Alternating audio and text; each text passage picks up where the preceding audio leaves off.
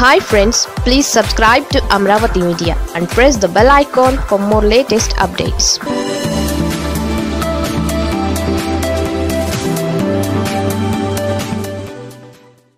Lokesh హామీల వర్షం. TDP గెలిస్తే సీఎం చంద్రబాబేనా? నారా లోకేష్ ఎమ్మెల్యే దక్కని ఎమ్మెల్సీ. తొందరలో ఆ పదవీ కాలం కూడా అయిపోయి తాజా మాజీగా మారుతున్న నేత. అప్పట్లో లోకేష్ మంత్రి అయ్యారు. సరే నాన్న సీఎం కాబట్టి. ఐదు శాఖలు అందున అత్యంత కీలకమైనవి దక్కాయి అనుకుంటే దానికి కూడా చంద్రబాబే కారణం. పంచాయతీరాజ్ శాఖ ఐటీ వంటి శాఖలు లోకేష్ చూశారంటే అది బాబు గారు ముఖ్యమంత్రిగా ఉండబట్టే. ఇక లోకేష్ రెండేళ్ళ మంత్రిత్వ పాలన మీద ఎవరూ సమీక్ష చేయలేదు.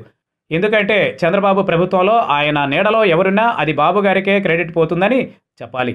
బాబు గారి విజన్ ముందు ఎవరూ కూడా ఆనరని కూడా చెప్పాలి. లోకేష్ మంత్రిగా ఫస్ట్ టైం కాబట్టి ఆయన ఏం చేసినా ఓకేగానే చూడాలి.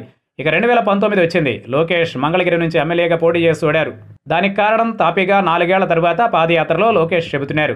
అబ్బే మంగళగిరి మనకు అంతగా బలమున్న సీటు కాదు. అక్కడ టీడీపీ ఎప్పుడూ పెద్దగా గెలిచింది లేదు. నేను అందుకే ఛాలెంజ్గా తీసుకుని పోటీ చేస్తానని. ఈ మాటలకేం కానీ ఓడామన్నది మాత్రం ఈ రోజుకి లోకేష్ ఒప్పుకోలేకపోతున్నాడు అన్నదే ఇప్పటికీ అందరికీ తడుతున్న నిజం. పాదయాత్రలో లోకేష్ మారారా? ఏమైనా మార్పు వస్తోందా అంటే అవును మారారు అనే అనాలి. పాదయాత్రకు ముందు లోకేష్ తర్వాత లోకేష్ అనే ఆ తేడాను చెప్పాలి. పాదయాత్రకు ముందు కేర్ ఆఫ్ చంద్రబాబుగా ఉండే లోకేష్ పాదయాత్ర చేస్తూ నెల రోజులు అయ్యాక చూస్తే చంద్రబాబు ఫాదర్ ఆఫ్ లోకేష్గా మార్చేస్తున్నారు. అయితే ఇది జనం అయితే ఇది జనం నుంచి వచ్చిన కితాబు కాదు. జనం లోకేష్ను చూస్తున్న తీరు అంతకంటే కాదు. జనాల దృష్టిలో లోకేష్ ఇంకా కేర్ ఆఫ్ బాబుగానే ఉన్నారు. కానీ లోకేష్ ఒక్కసారి జనంలోకి వచ్చాక టీడీపీకి తానే సర్వాధికారిని తానే కాబోయే సీఎంని అన్నంతగా ధీమాగా పడుతున్నారు. తానే కాబోయే సీఎంని అన్నంతగా ధీమా పడుతున్నారు. ఆ ధీమాలో ఆయన అడిగినవి అడగనవి వరాలు మాటలు విప్పేసి పనిచేస్తున్నారు. ఆ మధ్య ఎక్కడో ఇస్లామిక్ బ్యాంకుని ఏర్పాటు చేస్తామన్నారు.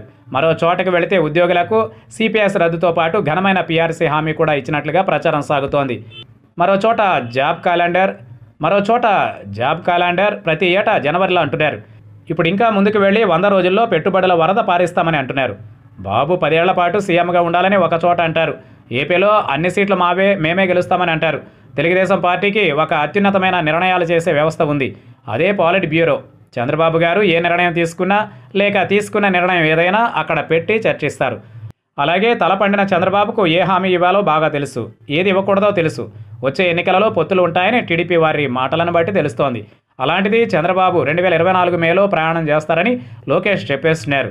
పోనీ పొత్తులలో భాగంగా చంద్రబాబుకే పెద్దపీట వేయాలని అవతల పొత్తు పార్టీ ఏది చూసినా పదేళ్ళు చంద్రబాబు గారే ఉంటారు ఉండాలి అని లోకేష్ అనడం పట్ల కూడా పొత్తులు పటేల్మని పుట్టకుండానే తెగిపోయే విధంగా కనిపించే సీన్ ఉందని అంటున్నారు.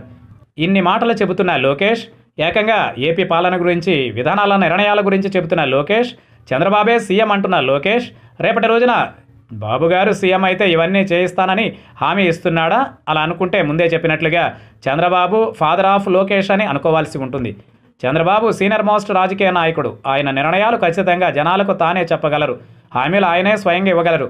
మరి లోకేష్ చంద్రబాబు కుమారుడు అయినంత మాత్రానికే మొత్తం పార్టీ నిర్ణయాలను ప్రభావితం చేసేలా మాట్లాడుతున్నారనే విమర్శలు వస్తున్నాయి. అలాగే కొందరికి టికెట్లు అంటున్నారు కొందరిని ప్రకటిస్తున్నారు. ఇదంతా చూస్తూ ఉంటే రేపటి సీఎం పదవి పక్కన పెడితే అసలైన టీడీపీ ప్రెసిడెంట్ చిన్నబాబా అన్న డౌట్లు తెస్తున్నారు.